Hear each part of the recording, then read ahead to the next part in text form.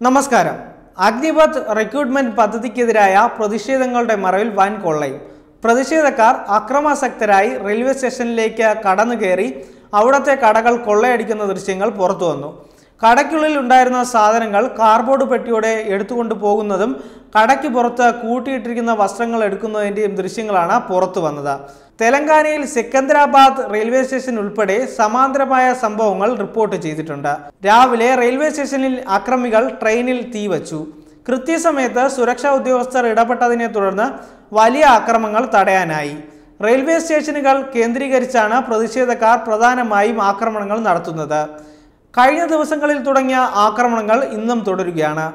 ബീഹാറിലെ സമത്പൂർ റെയിൽവേ സ്റ്റേഷനിൽ ദർഭംഗ ന്യൂഡൽഹി സമ്പർക്രാന്തി എക്സ്പ്രസിനും പ്രതിഷേധക്കാർ തീവച്ചിട്ടുണ്ട്.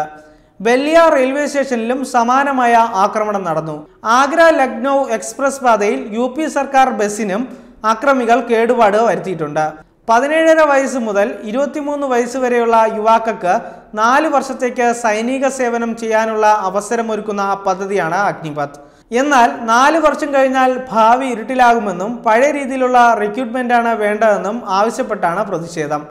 കഴിഞ്ഞ ദിവസം ബീഹാറിൽ ആരംഭിച്ച പ്രതിഷേധം കൂടുതൽ സംസ്ഥാനങ്ങളിലേക്ക് വ്യാപിക്കുകയായിരുന്നു. പ്രതിഷേധങ്ങളെ ശക്തമായി നേരിടുമെന്ന് യു സർക്കാർ ഉൾപ്പെടെ മുന്നറിയിപ്പ് നൽകിയിട്ടുണ്ട്. അതേസമയം ഇത്തരത്തിൽ അക്രമ സംഭവങ്ങൾ അഴിച്ചുവിടുന്ന വ്യക്തികൾ സേനയുടെ ഭാഗമാകാൻ യോഗ്യരല്ലെന്ന കേന്ദ്രമന്ത്രിയും മുൻ കരസേനാ മേധാവിയുമായ ജനറൽ വി കെ സിംഗ് പ്രതികരിച്ചു. തനിക്ക് സേനയുടെ ചുമതല ഉണ്ടായിരുന്നുവെങ്കിൽ ഇവരിൽ ഒരാളെ പോലും എടുക്കില്ലായിരുന്നു. സൈന്യത്തിൽ ചേരാൻ ആഗ്രഹമുണ്ടെങ്കിൽ സേനയോട് ഏതെങ്കിലും തരത്തിൽ ഒരു വികാരമുണ്ടെങ്കിൽ അവർ പ്രതിഷേധിക്കില്ലെന്നും കേന്ദ്രമന്ത്രി അറിയിച്ചു. ഒരു സ്വകാര്യ മാധ്യമത്തോട് പ്രതികരിക്കുകയായിരുന്നു അദ്ദേഹം. ഇതിനിടെ അക്രമങ്ങൾക്ക് ചുക്കാൻ പിടിക്കുന്ന കോച്ചിംഗ് സെന്ററുകളാണെന്ന വിവരവും പുറത്തു വന്നിട്ടുണ്ട്. അഞ്ചു മാസത്തെ കോച്ചിങ്ങിന് വലിയ തുകയാണ് ഉദ്യോഗാർത്ഥിയുടെ കൈകളിൽ നിന്നും ഈ ഇൻസ്റ്റിറ്റ്യൂഷനുകൾ വാങ്ങുന്നത്. എന്നാൽ കേന്ദ്ര സർക്കാരിന്റെ അഗ്നിപത് പദ്ധതി നിലവിൽ വരുന്നതോടെ ഈ കോച്ചിംഗ് സെന്ററുകൾ പൂട്ടപ്പെടും. അതുകൊണ്ട് തന്നെ ഇൻസ്റ്റിറ്റ്യൂഷനാണ് ഈ കലാപത്തിന് തിരികൊളുത്തിയതെന്നാണ് ഇപ്പോൾ പുറത്തു വരുന്ന ഏറ്റവും പുതിയ വാർത്ത. ഇതിനു പിന്നാലെ ആർ ജെ ഡിയും സമാജ്വാദി പാർട്ടിയും രംഗത്തെത്തി. ആർ ജെ ഡി ബീഹാറിലെ പ്രതിപക്ഷ പാർട്ടിയാണ്. സമാജ്വാദി പാർട്ടി ഉത്തർപ്രദേശിലെ പ്രതിപക്ഷ പാർട്ടിയാണ്. ഇവരാണ് ഇപ്പോൾ ഈ സമരം ഏറ്റെടുത്തിരിക്കുന്നത്.